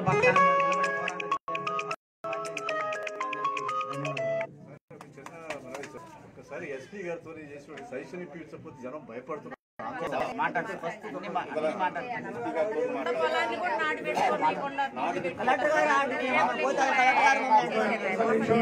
సరే లీగల్గా ఇది హైదరాబాద్లో ఎట్లా భూదాన్ ట్రస్ట్ ప్లస్ పెట్టాలి? లీగల్గా అప్రోచ్ అవుతాం అది కానీ ఈ లోపల కలెక్టర్ కోటి ఎస్పీ కోటి రిప్రజెంటేషన్ రేపే పంపిస్తామండి ఖచ్చితంగా. పార్టీ పరక్షణ రైతుల జోలికి పోవద్దని చెప్పి ఒక రిప్రజెంటేషన్ జానకిరామ్ రేపు సూర్యాపేటకు ఒక రిప్రజెంటేషన్ మన బృందం పోయి కలెక్టర్ గారికి వాళ్ళు వస్తారు. నాగరాజు ఒకళ్ళిద్దరిని బాధిత రైతులను తీసుకుపో. మన పార్టీ నువ్వు మల్లికార్జున చెప్తా నేను. ప్రింట్ చేసి ఇస్తాడు. నువ్వు తీసుకొని పోయి మాట్లాడు. నువ్వే ఆఫ్టర్ ఫెస్టివల్ తీసుకోండి ఎట్లయినా రేపు ఇక్కడ వచ్చినటువంటి మేలచెరు గ్రామస్తులకు మా పార్టీ నుంచి వచ్చినటువంటి రాష్ట్ర డెలిగేషన్కు ముఖ్యంగా మాజీ ఎమ్మెల్యే గారు ప్రసన్న ప్రసన్న గారు జ్యోత్స్న గారు మహిళా అధ్యక్షురాలు పార్లమెంట్ అధ్యక్షుడు విజయనాయక్ గారు. ఈ నియోజకవర్గ బాధ్యత చిన్న కోదాడ ఉన్నటువంటి నాయకులు ప్రభాకర్ గారు సూర్య గారు మండల పార్టీ అధ్యక్షులు తమ నాగరాజ్ గారు ప్రసాద్ సెక్రటరీ గారు యూత్ ప్రెసిడెంట్ నాగేంద్ర గారు రాధిక గారు సరోజనమ్మ గారు. అన్నలు తమ్ముళ్ళందరికీ కూడా అక్క చెల్లెలందరికీ కూడా హృదయపూర్వక నమస్కారాలు. సరే ఇప్పుడు ఈ గ్రామస్తులందరూ కోరిన విధంగా చాలా డిస్కషన్ జరిగింది ఇక్కడ ఒక నిమిషం అండి. విజయలక్ష్మి గారు బొమ్మ ఒక నిమిషం. చాలా డిస్కషన్ జరిగింది. నేను మూడే మూడు పాయింట్లు మొత్తం విన్న తర్వాత మీకు సూచన చేయాల్సి ఉంది. పార్టీ మిమ్మల్ని అడిగింది. అది మీ నాగరాజు చిన్నగారి ద్వారా. మీకు అన్నటువంటి పేపర్స్ అన్నిటి కూడా జిరాక్స్ పేపర్స్ మీరు తక్షణం ఇవ్వండి మీరు చేయాల్సిన బాధ్యత మీరు చేసిన తర్వాత తెలుగుదేశం పరంగా మా వాళ్ళు స్టేట్ కమిటీలో కూర్చొని పెద్ద పెద్ద లీడర్లు వచ్చారు. లీడర్లే కాదు అనుభవజ్ఞైనటువంటి వాళ్ళు వచ్చారు. పంతొమ్మిది వందల ఎనభై ఐదులో వాళ్ళు ఎమ్మెల్యేగా చేశారు. చట్టసభల్లో వాళ్ళు ఉన్నారు. చట్టం గురించి వాళ్ళకి తెలుసు. కాబట్టి మీరు చేయాల్సిన పాయింట్ మీరు చేయండి ఫస్ట్ మీకు ఉన్నటువంటి మీకున్నటువంటి పేపర్స్ అన్ని కూడా నాగరాజు గారు చిన్నగారు ద్వారా స్టేట్ కమిటీకి పంపించారు. రెండో పాయింట్ మీరు అడిగారు. ఎస్పీ గారు కానీ కలెక్టర్ గారు కానీ విజ్ఞాపన పత్రం మా జోలికి రాకుండా చేయండి అన్నారు. దానికి మీరు ఇక్కడ ఒక పది మందో ఐదు మందో మీరు వస్తే సూర్యాపేటలో మీ ఉన్నటువంటి యూత్ మహిళా మహిళా నాయకులు రాధిక గారు యూత్ ప్రెసిడెంట్ ఉన్నటువంటి టీఎన్ఎస్ఎఫ్ నేనున్నా. మేమందరం మీకు ఆడ ఉండి ఎక్కడి నుంచో రావాల్సిన అవసరం లేదు. మేము ఆడ ఎస్పీ గారిని కలెక్టర్ గారికి మేము మీ ద్వారా రిప్రజెంటేషన్ ఇస్తాం ఇది రెండో పాయింట్. మూడో పాయింట్ మీ భూములు ఎక్కడికి పోవు? నాకు కూడా దీంట్లో అనుభవం వచ్చింది. ప్రసన్న గారు చెప్పినప్పుడు మీరు విన్నారు బాగా అక్కడ ఏంటంటే భూదాన భూములు ఇవి. మీకు కూడా అమ్ముకోవడానికి హక్కు లేదు ఎవరికి కూడా చేయడానికి హక్కు లేదు. మీ వారసులు మీరు ఉన్నందువల్ల మీకు పని చేసుకోవాలి తినాలి మై హోమ్ కానీ సువర్ణ కానీ ఇంకెవరికి కానీ ఏ అధికారం లేదు. కాబట్టి దయచేసి మీరు దీంట్లో పోరాటం చేయండి. పార్టీగా తెలుగుదేశం పార్టీగా దుర్గా ప్రసాద్ గారు ముందుంటారు. వారు ఖచ్చితంగా లీగల్ కానీ పార్టీ పరంగా కానీ స్టేట్ పార్టీని కూడా అలర్ట్ చేసి చంద్రబాబు నాయుడు గారి దృష్టికి రమణ గారి దృష్టికి తీసుకెళ్ళి మనకు కావాల్సిన న్యాయం చేస్తామని చెప్పేసి కోరుతూ ఈ అవకాశం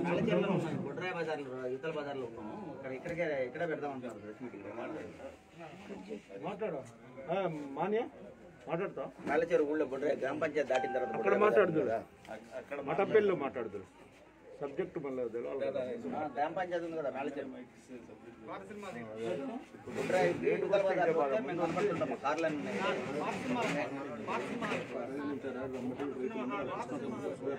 సూర్యం? సూర్యం సినిమాలు- పాత సినిమాలు కొన్ని. రైతులకు సంఘీభావం